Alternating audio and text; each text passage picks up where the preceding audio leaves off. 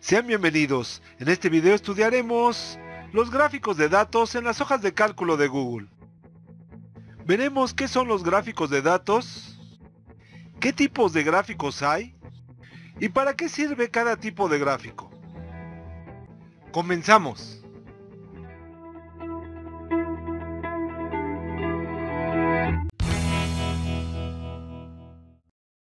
Uno de los métodos más sencillos para transmitir información a través de una hoja de cálculo es con el uso de los gráficos.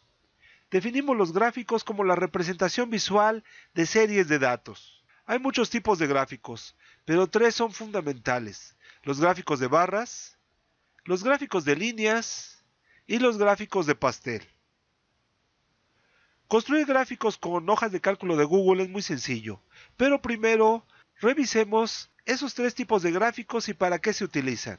Para ello tenemos este cuadro de datos que podría tratarse de las ventas por región, este, oeste, norte y sur, para tres meses del año de alguna compañía o alguna corporación. Por sí solo, probablemente el cuadro no nos diga gran cosa. En cambio, si los convertimos estos datos a gráficos, podamos obtener probablemente mayor información fácilmente. Seleccionamos esto con un rango y nos vamos al menú Insertar, Gráfico. Decíamos que en un momento vamos a revisar la construcción del gráfico. En tanto, veamos los distintos tipos. Si utilizamos un gráfico de columnas,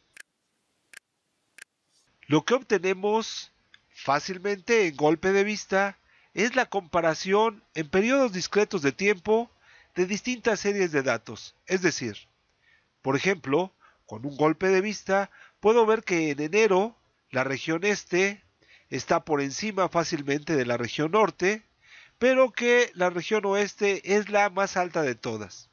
Podríamos ir a otro periodo discreto de tiempo, marzo, y ahí lo que vemos es que las ventas del este son mayores a las de las demás regiones.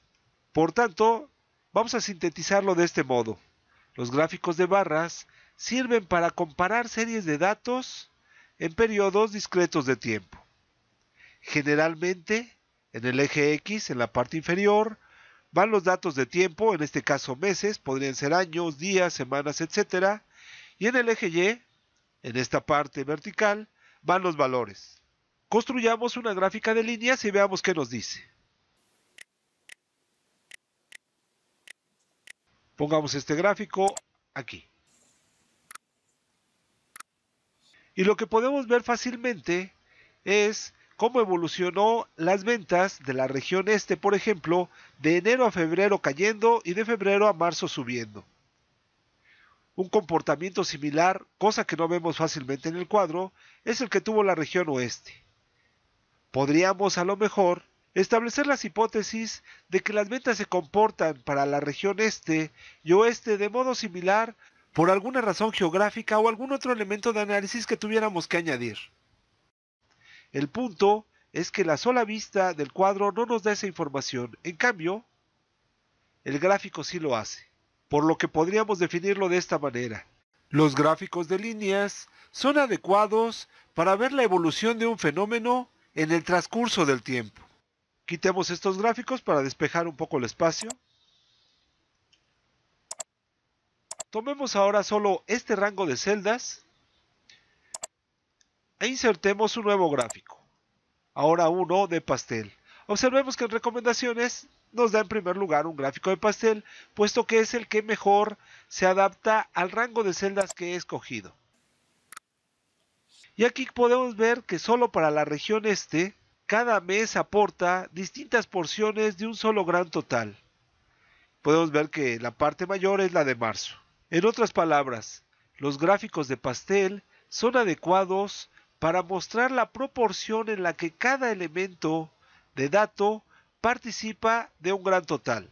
En síntesis, podemos decir que, aunque es muy fácil construir gráficos en una hoja de cálculo, no cualquier dato se presta a cualquier tipo de gráfico.